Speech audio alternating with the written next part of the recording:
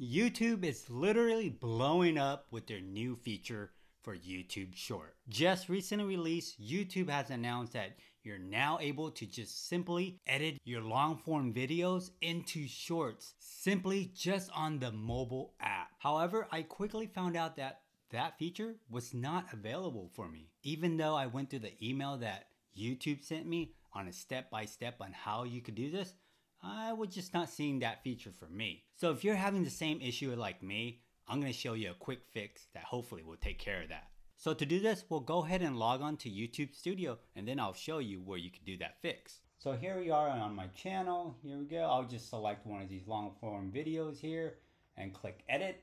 Then just scroll all the way down here. Let's just keep going. Come on. There we go. Under the short sampling here, you have to enable this button right here. Allow people to sample this content.